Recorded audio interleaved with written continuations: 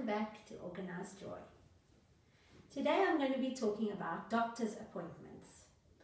Now, I'm not talking about when you need to go to the doctor because you got a sniffle or the flu. I'm talking about regular, once a yearly checkups that you should be booking in your diary to make sure that you have scheduled every year to make sure you're all okay. I'm a firm believer in we must rather know what's going on in our body sooner rather than later. So I believe in making sure I have all my doctor's appointments scheduled.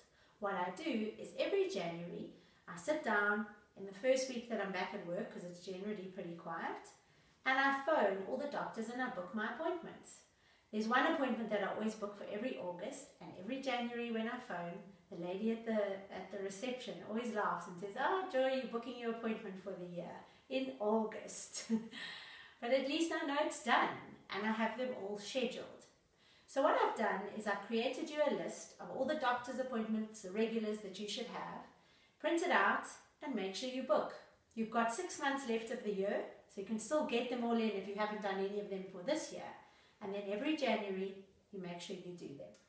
So what are those appointments that you need? Number one, any lady needs her gynae check. That's once a year if you're not having babies, because that obviously changes everything. But if you're just being normal lady every year, you have to go to the gynae once a year. Then if you're lucky enough to have hit 40, like me, you have to factor in a mammogram and a bone density test. Now those are only done every two years and your gynae will probably subscribe, the, subscribe you to go to one of the radiologists in town. But that is an important thing to do. You want to be checking that out every two years. Bones are very important and we don't want to be getting breast cancer. The next one is your dentist. Now you should go to the dentist twice a year, every six months.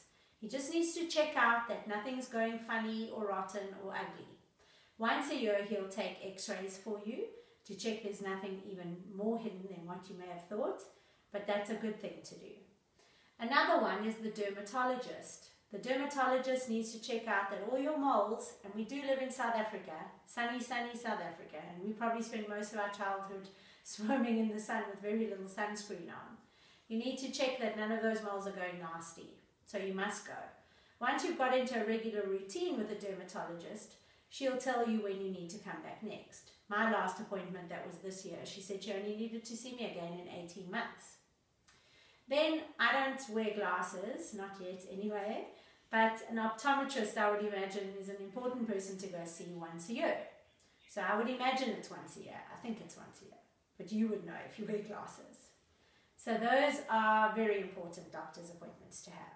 Then I belong to Discovery Health and for my vitality points there's regular checks you have to have as well.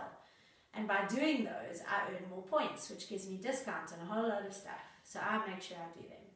There's a normal um, health check-in that you can do at the Dis-Chem um, nurses or if your, if your company is big enough, the Discovery people come to your office for the whole day. Another one is a biokineticist. They have to check your fitness. And then the third one is a nutritionist to check how, how you eat and what you eat and if it's okay. But once you've done those, it's great. You earn some great points. Now, I have contacts for you if you do want them here in Johannesburg. You're watching from afar, I'm sure you have your people already. Download my list at organizedjoy.co.za in the download section and you'll see the whole list of, of the doctors that you need to get onto and get seeing. But here's to being healthy. So thanks very much for joining me at Organized Joy. Go and book your doctor's appointments. And don't forget to hit subscribe below. Bye.